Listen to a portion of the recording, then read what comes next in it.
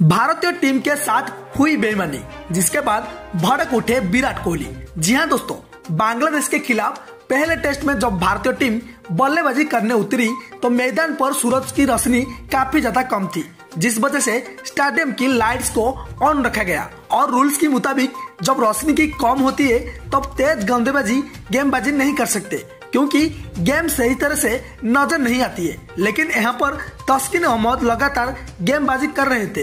ये देख के बाद ड्रेसिंग रूम में बैठे विराट कोहली अंपायर और बांग्लादेश के इस फैसला से काफ़ी ज़्यादा ना खुश देखे। और इसके चलते भारत अपनी विकेट गवा सकती थी जहाँ सातवीं ओवर की दूसरी गेम पर जब के राहुल तस्किन के गेम को डिफेंस करने जाते हैं तो गेम बॉल के पास से गुजर जाती है और कीपर के हाथ में चले जाती है। यहाँ पर तुरंत के राहुल ने इशारे में बताया कि उन्हें गेम देखी ही नहीं और एक खराब रश्मि के चलते उन्हें गेम नहीं दिखी।